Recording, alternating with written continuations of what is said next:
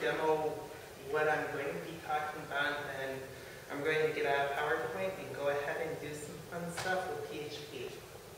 So the first thing that we're going to do is create, use a simple content management system to manage a website page.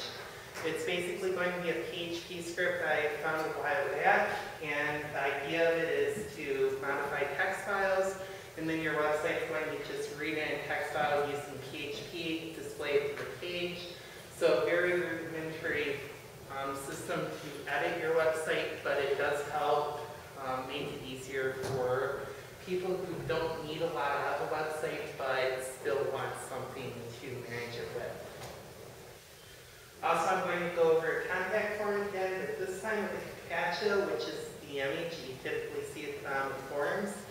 It's kind of a reverse string test, meaning that it tests to make sure that the user entering information into a form is a human and not a robot.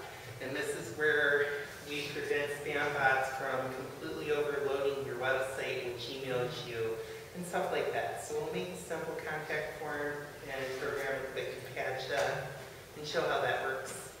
Um, an email program using MySQL, I've kind of decided against doing this fully, but I'll still go over the concepts inside of it because I think they're important to modeling what object-oriented PHP is all about, and it's a fairly simple program compared to WordPress. We're also going to cover a screen cap gallery with PHP, which is use the power website that's currently up and online gets about 20,000 hits a month. And finally, we're going to do a WordPress deployment. So um, before I even get to thanks slide, because this is an over, um, let's start first with the admin script. So in PHP, we have, and this here will be posted to the lecture website after the lecture is done, hopefully within a few hours. But basically, this is script I found quite a while ago that basically allows me to modify text documents on a website. So essentially, there's only one configuration parameter that you need to know to make this web, web script work, and that's the file variable. And that basically is a full path to the directory where all your text files are going to be that we're going to edit. So this starts with the root directory, and then you go into your home directory, typically slash home slash your username, and then wherever the files are located, there is no trailing slash. So if you don't know Linux file permissions, that's fine, but there it is. That's going to be the real directory that we use. So what we're going to do is we're going to upload this to the web lecture site that we have already established. So basically, public HTML, then we're going to go into WebLock. Then inside of here, I'm going to create a new directory. And this directory is going to be called admin. Then inside of the admin directory is where I'm going to place this script. So I'm just going to drag and drop it in. If I can drag it into the right program. So basically, it uploads a file. Files little, a little slow because it opens up a new connection for each file. We'll cover that a little bit more with WordPress. But basically now admin.php is loaded. And the other thing is, is that we had a data directory that we specified in the script. So basically, I'm going to create the data directory. And then inside of it, I'm going to make an empty text file. So basically on Windows, you can go to New and then Text Document. It'll make a new document. I'm just going to name it um, IND. Um, doesn't really matter what you name it. Inside of it, I'm going to put hello world, since that'll be something easily distinguishable to show that this is working. So now we have hello world and text file. What we're going to do is simply upload to the data directory. So now we have an index file or some sort of text file in the data directory that our script can access. So weblog.famouspro.com slash admin, and it's going to give us a directory listing, and we'll go into the admin.php script. And with a luck, it will load. Okay, which it did, just take a few seconds, the wireless is probably slow. But notice how it looks inside the data directory for all the text files. And that's all the script does. So notice that there's only one script in there, like we had placed. So we're just going to open it. It opened up the file, and there's the text inside of it. I'm just going to quickly append something new to it. So I'll type in hello again, for example.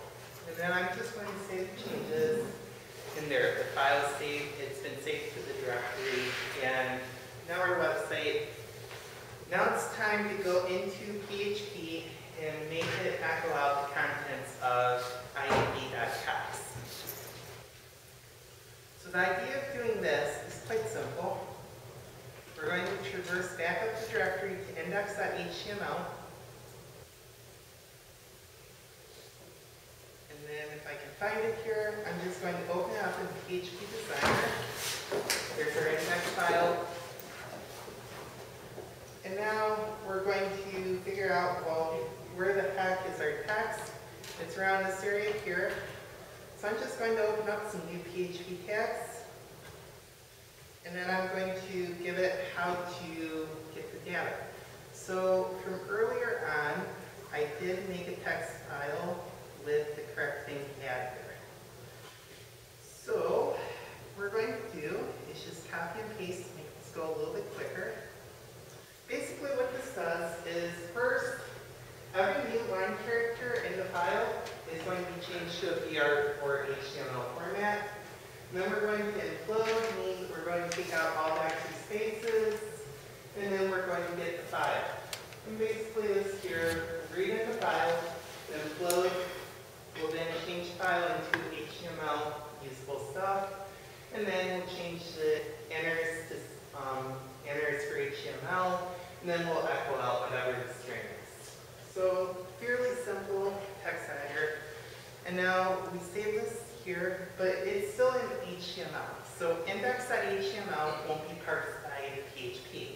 So instead what we need to do is save it as index.php. So we saved this index.php. Here it is on my desktop. And basically what I'm going to do is delete the old index.html and put index.php there. Now index.php is our main page so that when you go to the website, weblog.famouspro.com, the one thing I wanted to say was, notice how it initially didn't do anything. Unfortunately, your web browser caches information, so it might require a couple refreshes, or maybe even a control refresh to get your website to fully refresh the page so that your new PHP script is loaded. The next thing I see is file, data slash index.text, it failed to open the string. PHP when it has errors, and the new version will give you something that looks a little bit nicer and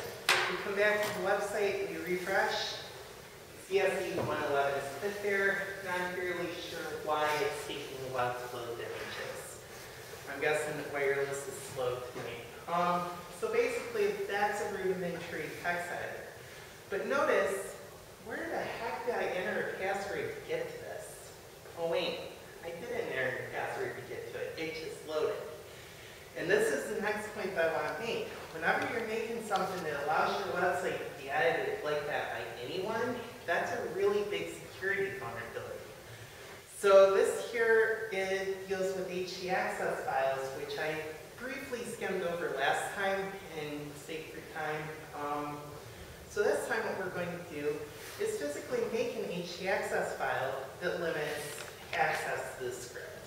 So the first thing going to do is we should probably open up vim, which is my favorite text editor. So give me a moment while I load this.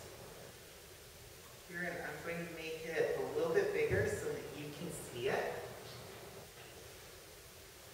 So we'll go with size 18 font for the moment.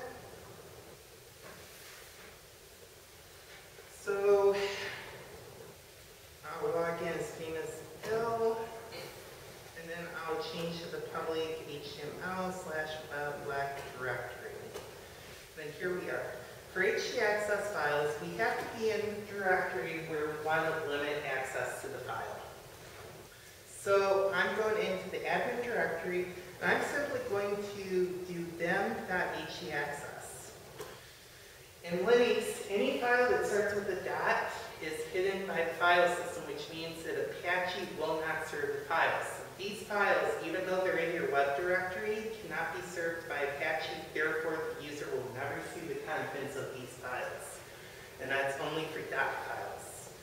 So basically, I'm going to insert some gibberish here that I will explain in a moment into the htaccess file. So basically, the first line there, although it's probably really hard to see, that might help, is off user file. And this basically points to a new file, also a dot file, typically HT password, which is your password file. And that file there will contain an encrypted form of your password that's going to allow access to the website. The next one, AuthType basic, which means we don't want to do any fancy authentication. We just want this good prop for a password and username. AuthName, admin script access. That there is basically what do you want the screen that says enter your password to say, or the area that you want to gain access to. Required valid user means that we need a valid user to type in their username and password in order to access the script. So, and actually this here will protect the entire directory. So I'm going to save this now, colon WQ for vim. And then I'm also going to vim.hu password. In this file, what we're going to do is create a new password. Um, just a website that I found off the top of my head. It's very easy to do this with a Google search. I put some others up last time. So basically, this site here prompts you for your username and your password. You saw this last time. I'm not adding salt to the password. So my username I'll use Phil, and my password I'll just use test. Now submit it, and it will give me a single line with my username, colon, and then whatever the encrypted form of my password is for the HT password file. Now it is my job to copy this entire line, go back to the terminal, and paste that line in. One username and password combination per line in the HT password file.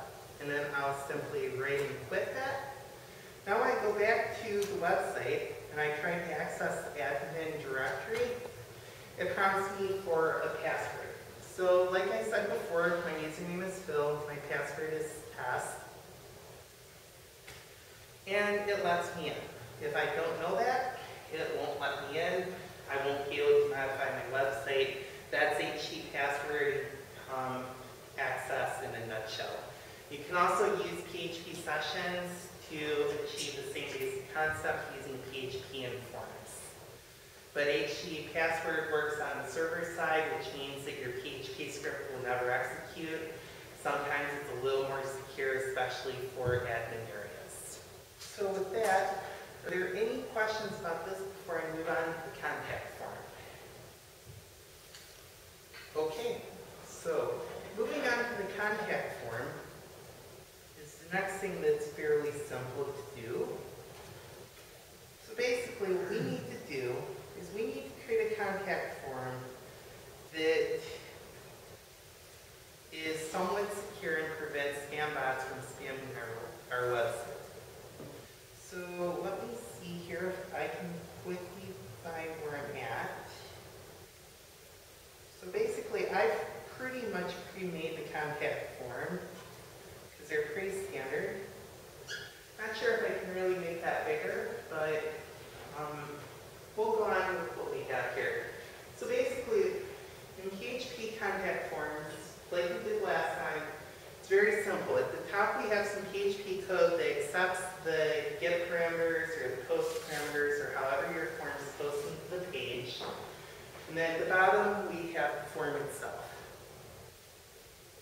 So the bottom of the page here is all your HTML that's simply going to or simply going to post to the form page.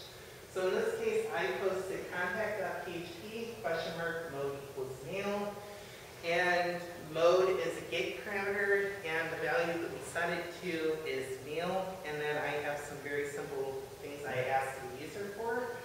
Your name, your email, your subject, then enter the code that you see in the image. And the image part is a little bit trickier to get to because to get the image, what we need to do is call this page and have PHP take a random number and then convert that into an image that a script can't read because remember, we can't read images with computers unless we use lots and lots of artificial intelligence algorithms. So if we can't read an image directly, it makes it much harder for a spam bot to spam us. So basically what I do is I create a new mode called IMG that produces an image. And now I want to get the code that actually produces the image. So basically when I come into the PHP script, I look at whatever mode is and I set it to switch. And then I use a switch for two cases, image. If image happens to be whatever it is, what I do is I have PHP generate image from a random number. Here's some random numbers here. And basically through a lot of stuff that I don't fully understand anymore, it basically creates an image that we can use to verify that the user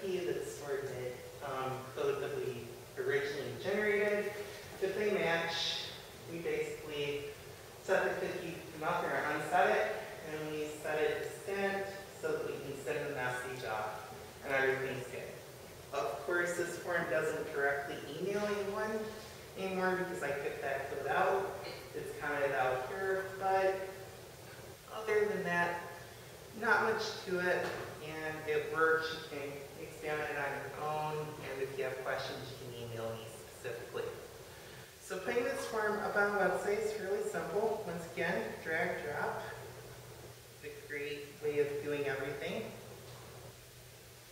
And I will overwrite the existing one up there. So now we have a contact form.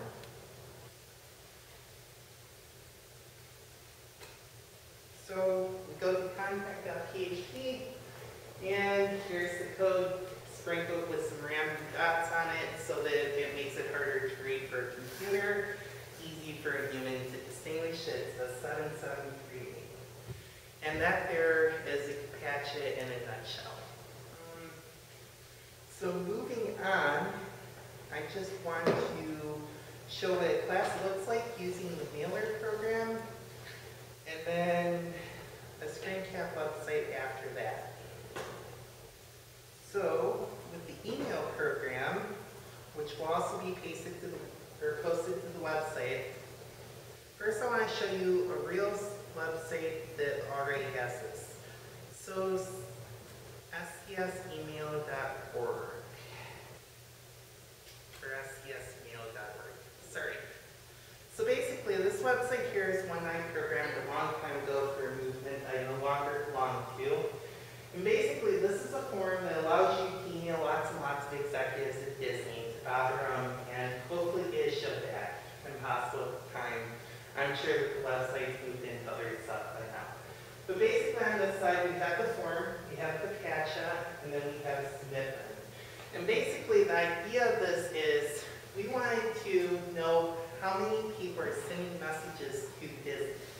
So what my task was to write a program that could make this form, make it easy for the user to submit to a lot of people, make it easy for an admin to go in and add names and email addresses and titles, and also tell us how many people are actually using the script so that we know the website isn't completely a joke and unused.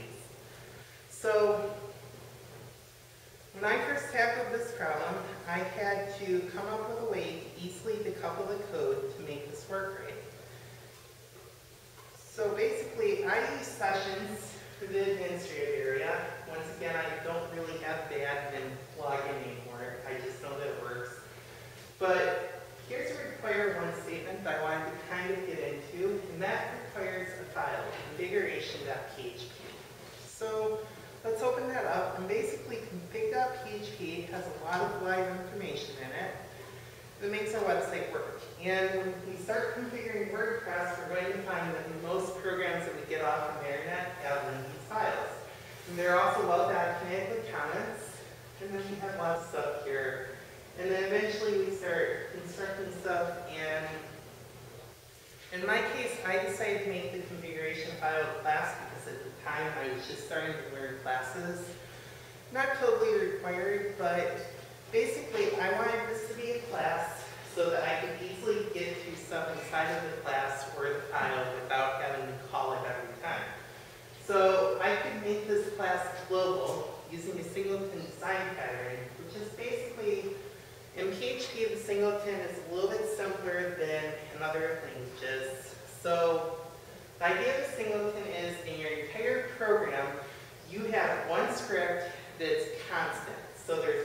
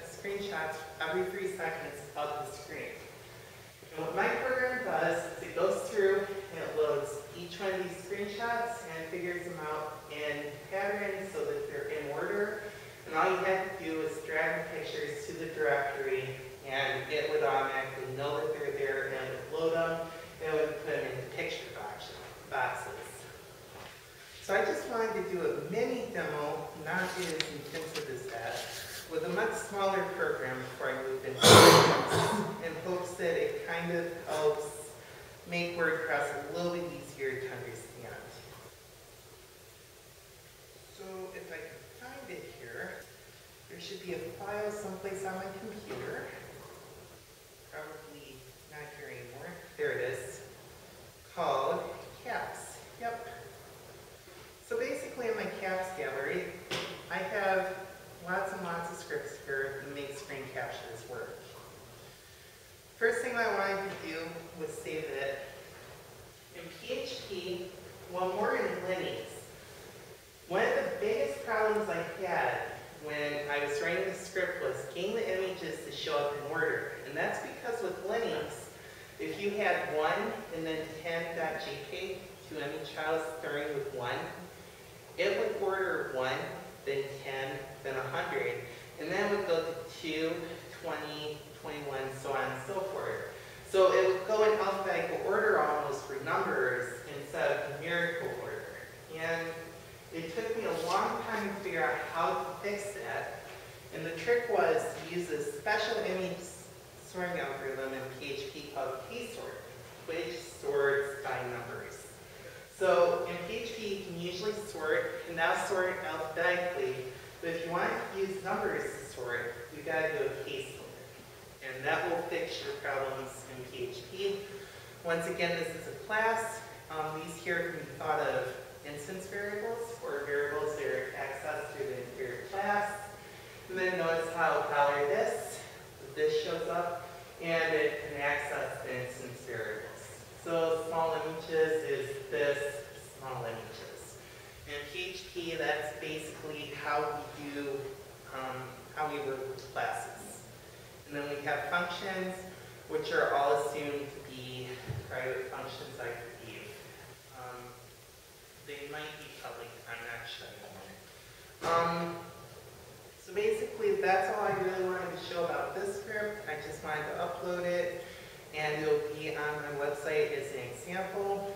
So what I want to do is I want to create a new directory called img. And inside of that, I'm going to drag and drop all these. And what we're going to find out is it takes a long time for this to upload.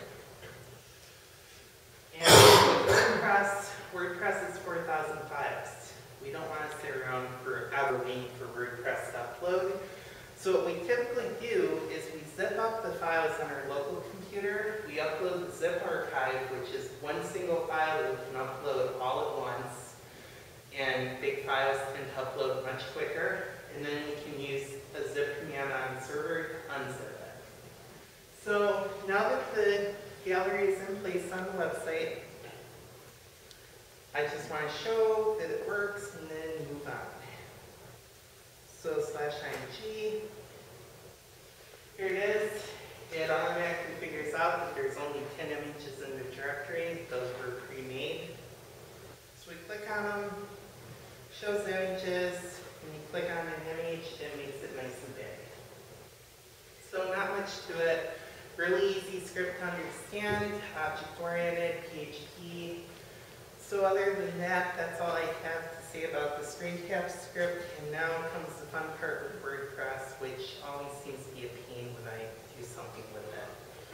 So before I do that, I want to delete pretty much everything in here because WordPress is going to pretty much do that for me. Remember that it takes quite a while for HTTP to do stuff because it has to connect to the server and do each command separately. There is no wild wildcard character that does everything all together. So the first thing for a WordPress deployment is we go to wordpress.org. And then nice fancy website loads and it tells us download WordPress. And all we have to do is download either the zip file or the tar.gz file. I'll stick the zip and it downloads. Now it's on my local computer. So I'll go to my downloads and then I'm going to just extract it on my computer. Notice how long it takes. It's about 4,000 files. So even locally, it takes a while. And once it extracts, we go into it and we see that there's other directories. So that's going to present a problem when we unzip on the server. So I like to get the problems out of the way by zipping it in such a way that I can just unzip into the directory where I want it to be eventually. Um, so nothing too big about WordPress or too much to say about it. It's a lot of files, it's a lot of code and source for WordPress, I would recommend staying far away from it because it's a mess, but it works great. So I'm just going to re-zip it up. Notice how I just right-clicked on any random file and went to compress. And here's my new compressed folder that won't have any directory structure in it that'll screw me up terminal-wise. So I'm just going to call this WP, and then I'm going to upload it to the site. So go back into WebLock here and we'll drag it in, and we'll wait for it to upload. Notice how quick the single file uploaded with lots and lots of files in it. Now we go to the terminal, and this is probably where you want to know a little bit about the terminal usage. So I'm going to remove style.php, not sure why it's there, and style.css. Probably FTP didn't remove them. RM hyphen capital R, lowercase f space directory will remove a directory. And then ls we have wp.zip. I'm just going to type in unzip space wp.zip, have completion, and unzips the WordPress installation to the server. So the hard part's done pretty much. WordPress is up on the server's directory. So I'll remove wp.zip now since I no longer need it. And now we have lots of directories here. We go to the main web page. Now what we need to do is go through the WordPress wizard. And I know that I'm missing the MySQL stuff. I'll get to it. So create a configuration file, just click it. Then it says, I'm going to need a database. Well, for WordPress, MySQL is the only database that it accepts that I'm aware of. So what we need to do is go into cPanel and log in using my website account.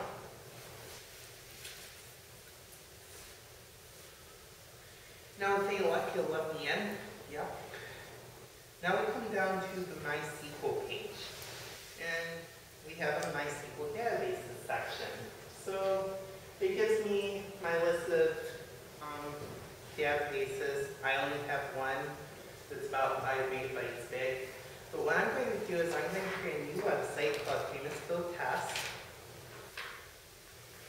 So I just create the database, it goes ahead, creates on the server, and then it tells me it's done. Um, nothing eventful there. I'm also going to make a new user, Famous Phil Test, and I'm going to give it the password test. And notice, testing, let's do, so let's add the ing to it, just make it easy. Oh boy, password string things. Okay. Well, database passwords typically should be strong. So I'm just going to have it generate one. I'll copy it down for the time being. So I will copy this to a safe place, meaning I'll find a text file someplace on my computer. Then I will go back to this, and I'll have it create the user. We have a user and we have a database, but they still aren't combined. So what we do is we come down here to add user to database. Notice how they're both selected correctly. We just add, and then we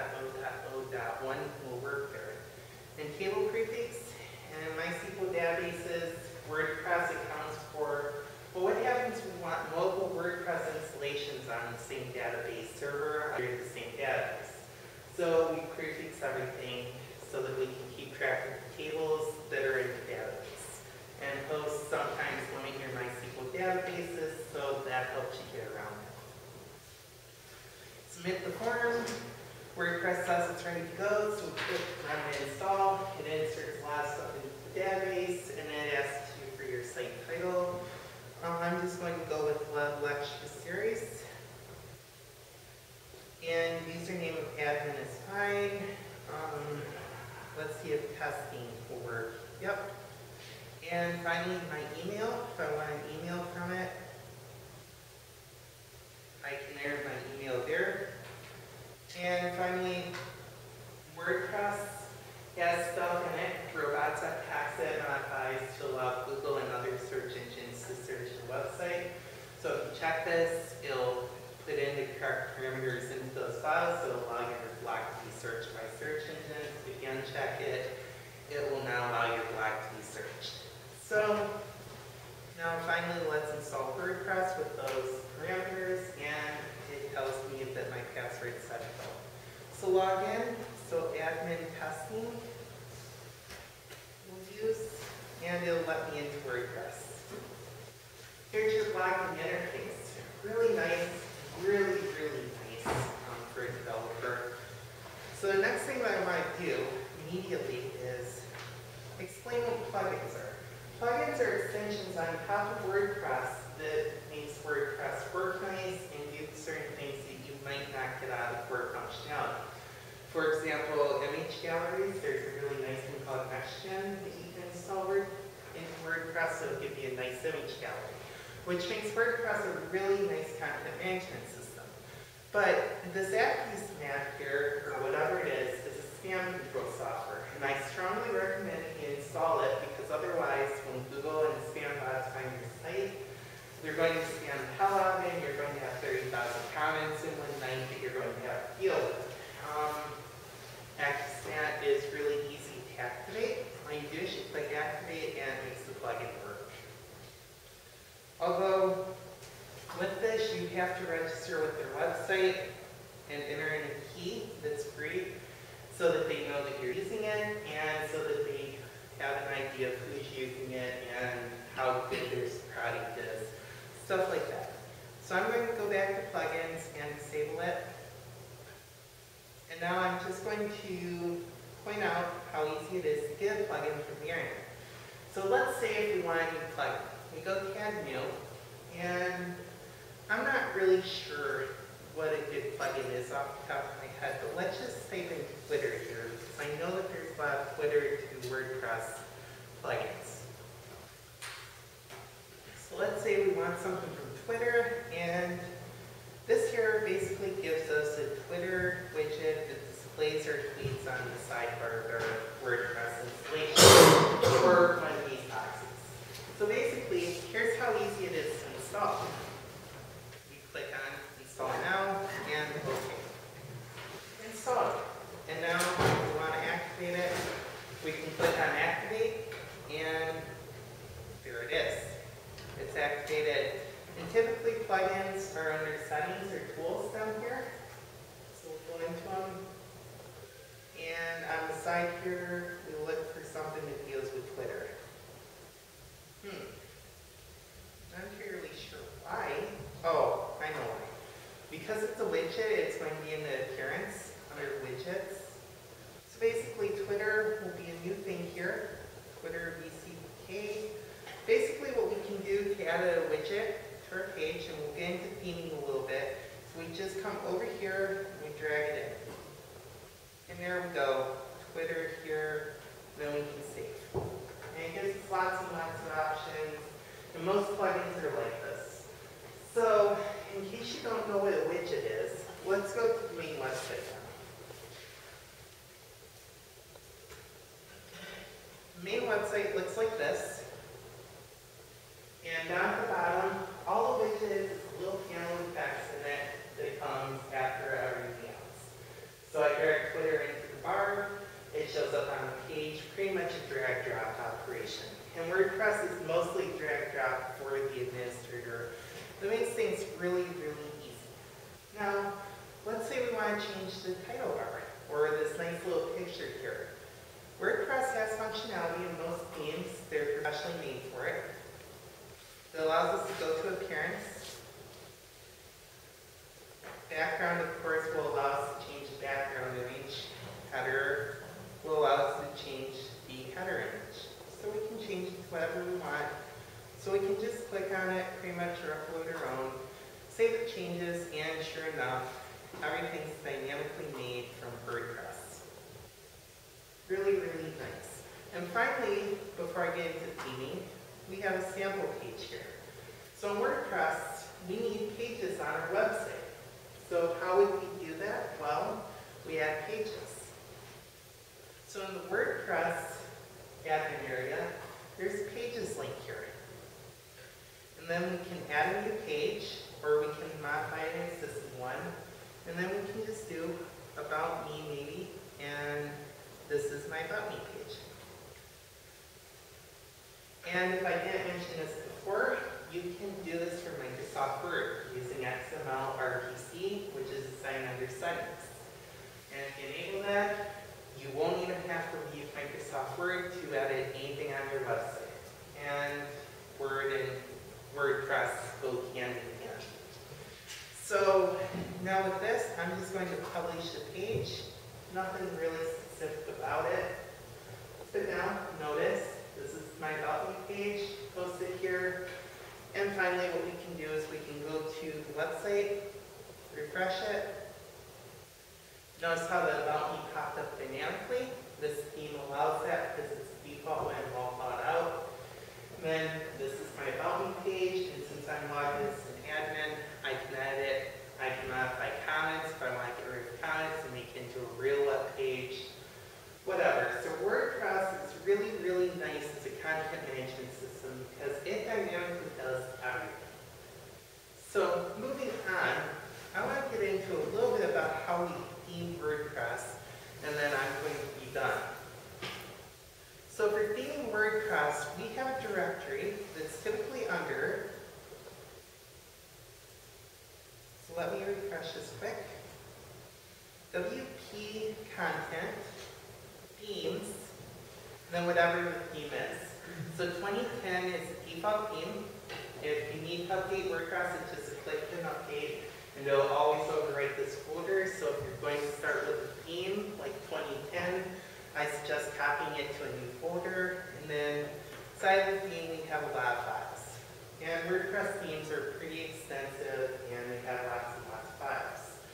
What I typically do is I strip it out and I start with my own default theme for Famous Phil, and then I build up from there. My theme doesn't include the dynamic pages that expand, because I kind of statically define all the pages I use across because they're all done using Photoshop.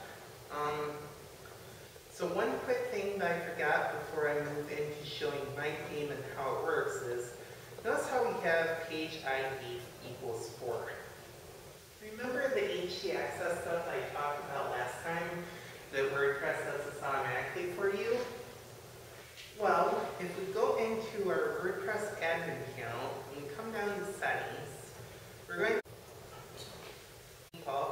use the p equals method. Well, typically WordPress blocks, if you ever, if you've ever gone to them, have really search engine friendly names like this here, like the date and then the post name. So I'm going to do is I'm going to change this to use the day name, or month and name. So I'll save the changes, and now it wrote into an htaccess file. If you want to see what it looks like, htaccess. WordPress automatically adds a bunch of stuff that makes your URL look nice. Which is nice for the programmer and the admin and even the end user with WordPress. So now when we go to the About Me page, it changes to About Me. So now that URL is a lot friendlier for search engines. I'm not sure if you can see it, so I'll just drag it down a little bit, but a lot friendlier than question p equals whatever the page ID is. So moving back in, let's go through a WordPress theme that's somewhat simple. So all WordPress themes start with index.php. An idea is, is that we call a method called get header in all WordPress themes. Basically what that does is that loads the header.inc file or header.php. Um, it includes the header.php file automatically. So there's a function in WordPress that sanitizes everything, that's called get header, and it echoes out your header and whatever's in there. If you want to see what the header looks like, it's basically the one from the previous lectures. It's live on Famous Phil. So just a dot type. Um, and then we have some cool stuff that WordPress does that other things don't. So let's see here if I can kind of get this over so I can see more of it. Oh, that's nice, that.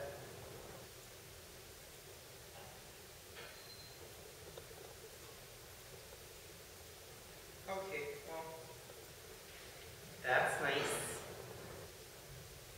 Let's see if we can kill this off here.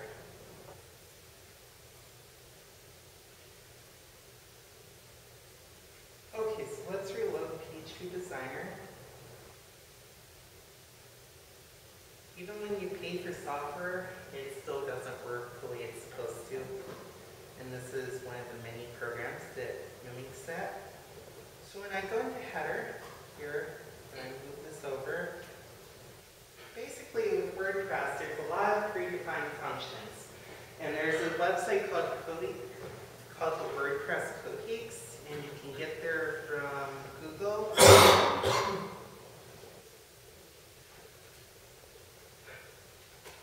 So when you go to the WordPress Codex, basically what it does is it has all the documentation for installing WordPress, programming WordPress, making plugins, all that fun stuff.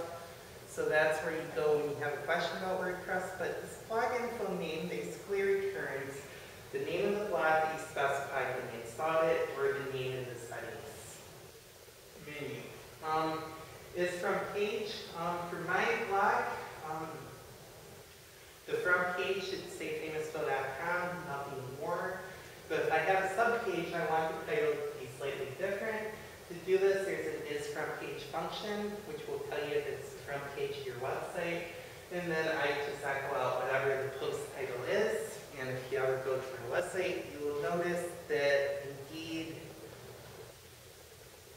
that is the case. So when you go to famousphil.com, the title of the page, although Chrome doesn't really do a good job at showing it, it's just famous photos blog and more, which is defined in the settings of my blog.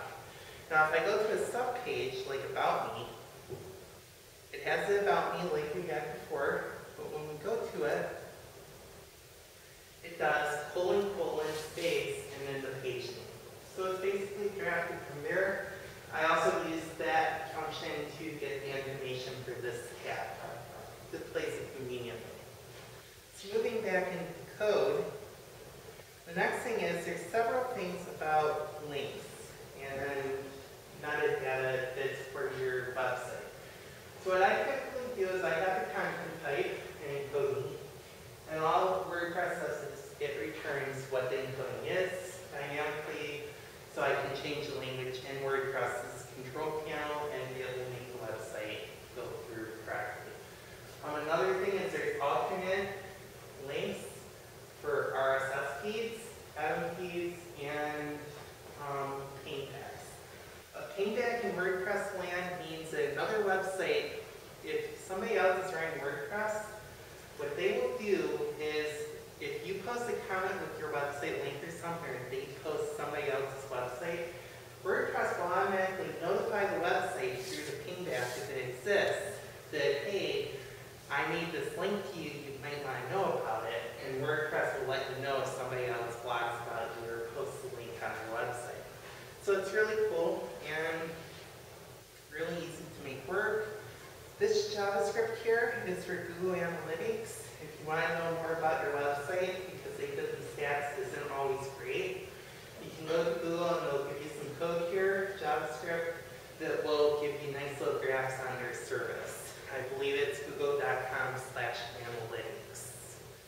And then the same stuff I made in lecture two. So moving on, Here, I'm going to go back to index. My index page does something really easy. First, I get the header, and then I post stuff to the. Um, and then in WordPress, there's this concept called sidebars, and these are dynamic. And remember the appearance thing where I drag and drop Twitter in? Basically, that's a dynamic sidebar. And when we call this function from AWorks and PHP using the theme, what happens is this dynamic sidebar calls whatever generates it, and then it makes um, the panel on the left or wherever you put it on your page. So that there's a dynamic sidebar for left. Um, how do we make special panels to put onto the sidebar? Those are done through a file called functions.php. And basically, functions.php, we can do a lot of things.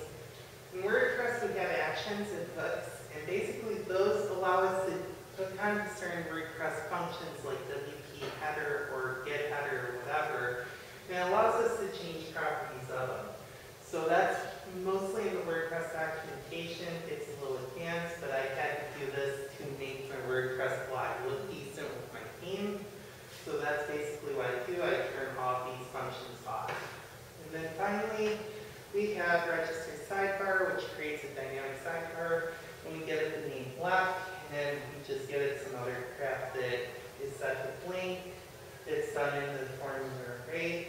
So before widget means whatever stuff is going to be printed before, what's after it, and then there's also room for titles on widgets. And then, if you want to see the code that makes a widget, I actually have a couple widgets I make, but the main one is called a side or a small widget. And basically, this small widget is something like partners. So that's the code that generates that partner screen here, where we have a title, and then we have a bunch of stuff that's related to the WordPress cipher. Um, while I'm at it, why don't I just show you? So if we go into the famous Phil WordPress panel, and hopefully I know the password.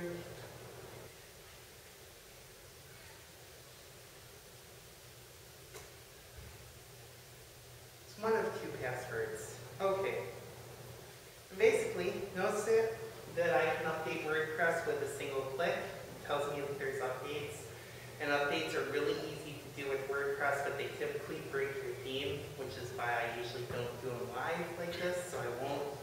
But when I go to Appearance, and I go over to Widgets, I have something called a small widget that corresponds to the code. And the small widget basically shows everything that's on the left-hand side, and since I wanted it to be strictly HTML, that's why I have. Now, how do we make this in WordPress? Well, in our functions file, we create a new class called small widget that extends WP widget.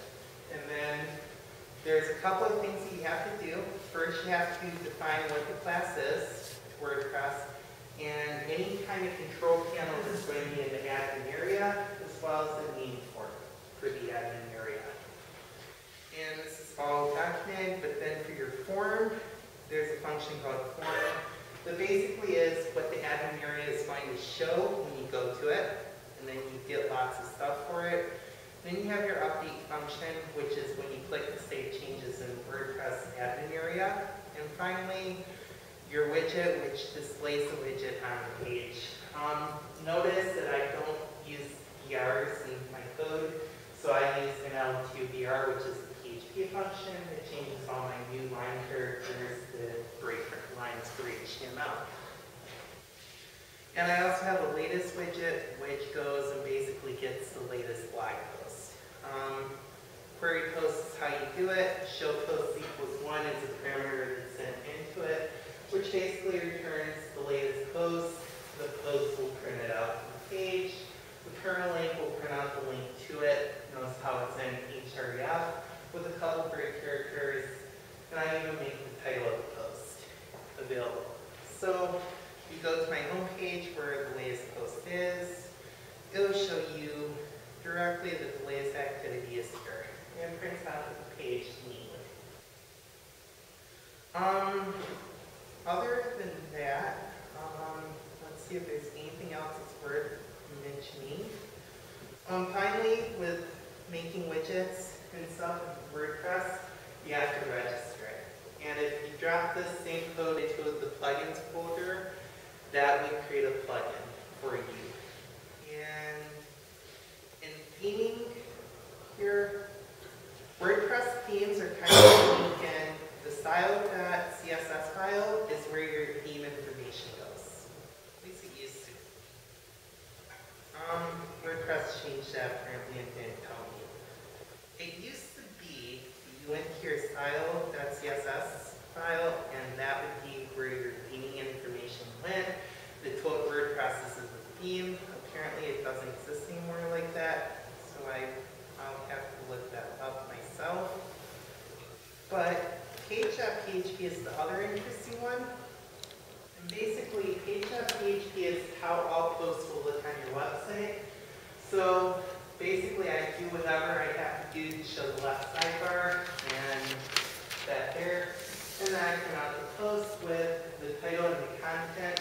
And when you're in a post like page.php is, these functions here are automatically queried for you so that they show up. One last thing that I want to show from the control panel that will probably throw you off if I don't, is in the control panel, to make the home page show up inside of your log, what you need to do is you need to go to your general, you need to go to your reading page, I believe. And then your front page needs to be set to a static page. It'll give you a drop down for what page you want to set it to. And then from there, you can save your changes, and that becomes front page. So other than that, um, I don't really have anything else to show. Thanks for attending. It's been great doing this. And any questions for me? Okay, thanks for attending, and have a good night.